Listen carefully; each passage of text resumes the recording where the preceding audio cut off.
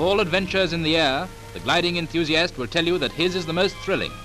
Small wonder, when such a small wonder as Pegasus is the craft.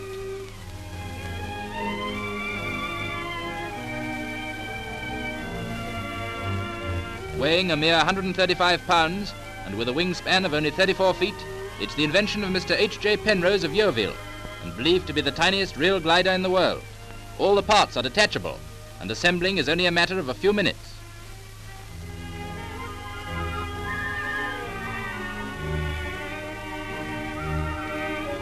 Glider is so small that getting into it almost needs a shoehorn, but it can certainly do big things in the air. So after a glance at the wind speed indicator, the pilot prepares to put Peggy through her paces.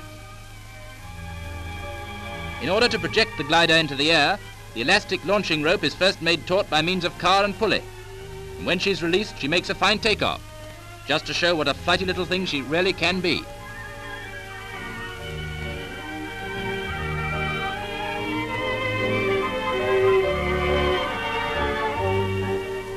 Baby engineless plane has several times taken the air for an hour at a stretch, and she's capable of even greater performances if the weather is favorable.